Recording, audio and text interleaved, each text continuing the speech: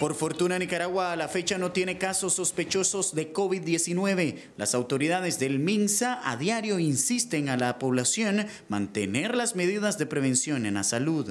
Como es el lavado de manos, manteniendo un hábito importante para todos los procesos que se realizan, las medidas preventivas también ante procesos respiratorios que deben acudir tempranamente a la unidad de salud y por supuesto mantener la protección las personas cuando estornudan, cuando tosen, protegerse con un pañuelo y también evitar eh, la transmisión de esta manera a otros miembros de la familia, a otros miembros de la comunidad o miembros de colegio de trabajo para evitar las transmisiones de estas enfermedades.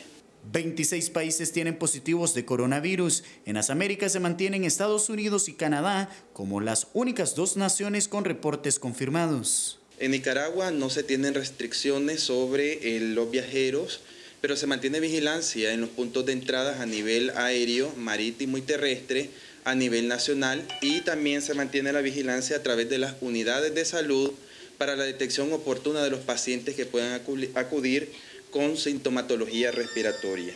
Hasta el momento hay infectados de COVID-19 más de 75 mil personas, con 2.009 fallecidos. Honduras reportó el pasado 18 de febrero un caso sospechoso. Se trata de una mujer de 52 años procedente de China que se mantiene en cuarentena.